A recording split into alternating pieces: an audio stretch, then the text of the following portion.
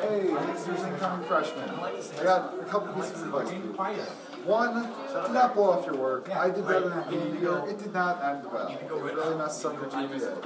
Two, listen to Adams when he's talking. And do not interrupt him. He gets distracted easily. Really, really easily. Three, do not call anything formative or summative. Adams really does not like that. Do not ask about formatives or summatives either.